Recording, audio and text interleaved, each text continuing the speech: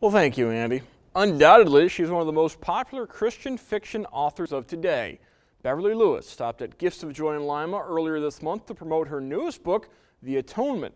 Just like many of her other books, Lewis's upbringing in the heart of Lancaster, Pennsylvania and Amish country has given her a love for including the Amish lifestyle in her writing. I grew up around Amish um, people right across the um, lane from us when I was a kid in Lancaster County, Pennsylvania.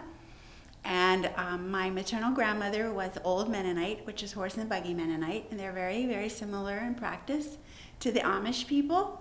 Um, such things as courting rituals, do's and don'ts, uh, that sort of thing. Um, uh, also, their shunning practices were very similar to the Amish, the Old Order Amish.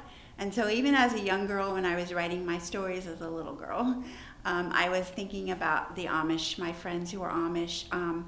And also the, the people that my father, was a minister, he knew. He was Assembly of God pastor.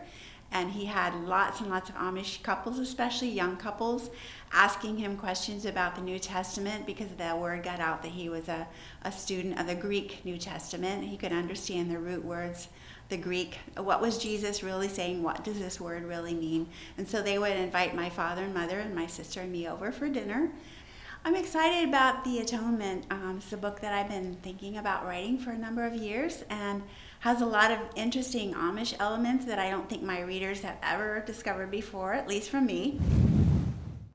Lewis's stop in Lima was one of 25 stops during her recent Ohio book tour. Pick up your copy of The Atonement at Gifts of Joy Bookstore in Lima.